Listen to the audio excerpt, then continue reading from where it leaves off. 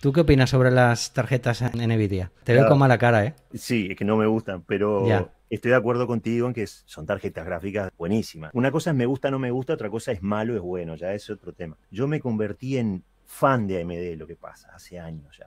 Ya me di cuenta que es por ahí donde van los tiros. Siempre voy a eso. De todas formas, dicen que Intel y Linux se van mejor que AMD y Linux. Eso oh. siempre lo he oído no sé, OpenSUSE siempre fue mejor con AMD y en general también. Yo armo máquinas con AMD, yo ya no doy esa posibilidad. Salvo que la persona me diga, mira, quiero un procesador Intel y algo, mm. F o lo que fuere, yo no doy esa opción. Yo voy a AMD con los Ryzen, por ejemplo. Los Threadripper no porque son un poco caros todavía acá, por lo menos en Uruguay. Mm. Pero, por ejemplo, un Ryzen 5 es asequible en Uruguay. 140 dólares, 150 dólares, no creo que pase de ahí, tendríamos que revisar los precios. Y son tremendos procesadores, le pones refrigeración líquida por 100 dólares y te queda un procesadorazo, eh, sin tarjeta gráfica agregada, entonces voy por ahí siempre.